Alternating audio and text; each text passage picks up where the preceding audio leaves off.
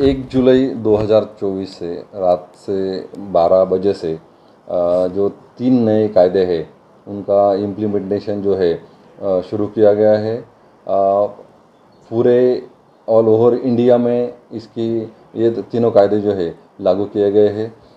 एक साल तक अवधि दिया गया था, इसमें सब पुलिस ऑफिसर्स कर्मचारी, सबका प्रशिक्षण पूरा किया गया है। अभी सब हमारे लोग ट्रेन हो गए अभी रात से इम्प्लीमेंटेशन जो है उसका शुरू हो गया है। पहले आईपीसी था तो उस अभी बीएनएस कायदा आ गया है।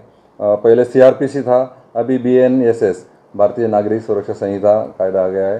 पहले इंडियन एविडेंस एक्ट था अभी भारतीय साक्ष्य अधिनियम। ऐसे तीनों कानून है और तीनों कानून अभी अ, ब्रिटिश कालीन थे। अभी नए इंडिया के नए कानून लागू किए गए हैं। इसमें सब नए प्रावधान किए गए हैं।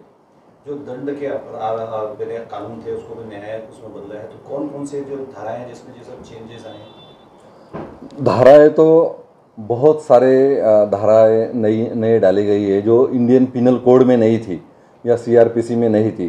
तो इसमें बहुत सारे बदलाव है।